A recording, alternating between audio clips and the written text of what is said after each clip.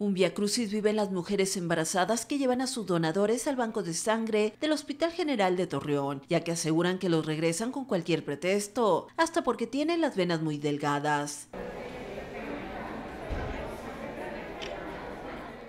La señora Leticia Isabel Juárez denunció que iba a donar sangre para la cirugía necesaria de su hija y no la aceptaron porque le podían ponchar las venas. Se va uno molesta porque no nos atienden bien.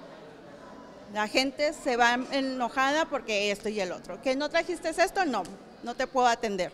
O sea, ¿de qué se trata? Es urgente, es urgencias, tienen que atender bien a la gente.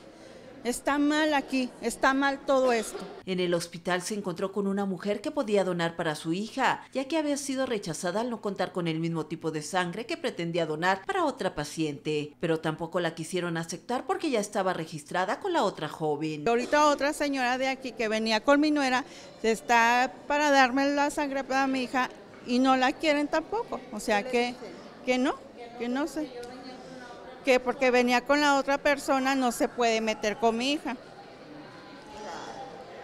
Porque no la quisieron con mi nuera porque no es el tipo de la sangre de mi nuera y la de mi hija sí, pero no la quisieron porque ya viene con mi nuera. Tiene que traer cada quien sus tres personas para poderlas atender.